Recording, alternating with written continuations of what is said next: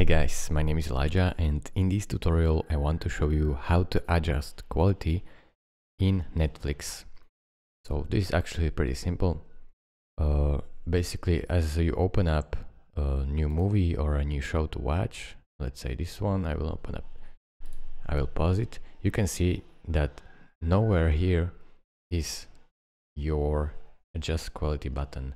Here is a playback speed, here is a caption, but nowhere it is. So go back, click on your profile icon, go over to account, and then click on manage membership.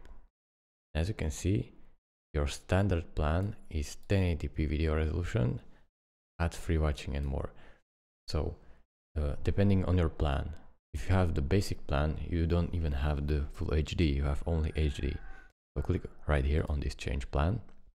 And here you can uh, go over to premium and just for $14 a month, you can get 4K resolution.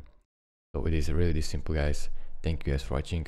If this video was helpful to you, consider subscribing and liking this video and I will see you in the next tutorial. Bye bye.